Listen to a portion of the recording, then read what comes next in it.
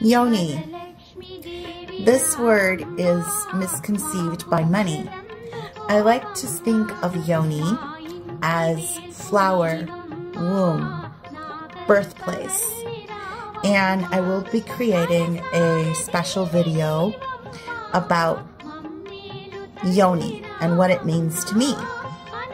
See, when I think of the word yoni, I think of female healing, female energy, and actually the real interpretation of the meaning of yoni is a representation of the Hindu goddess Shakti. And I do teach men and women the meaning of honoring the yoni. So more details later. This is a very brief video. I'll be creating a longer video, you know, later on today.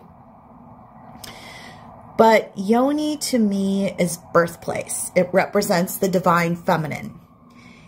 And unless someone understands the meaning of yoni, it's not appropriate for me to teach them how to honor the female goddess unless they first understand how beautiful the yoni is.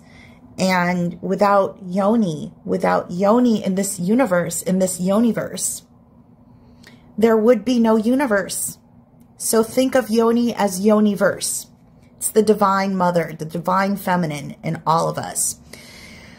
Even men contain a spark of the divine female essence within them. We all have divine male and divine female within us. And we can't deny that. We are both male and female. And I'm ending this video here.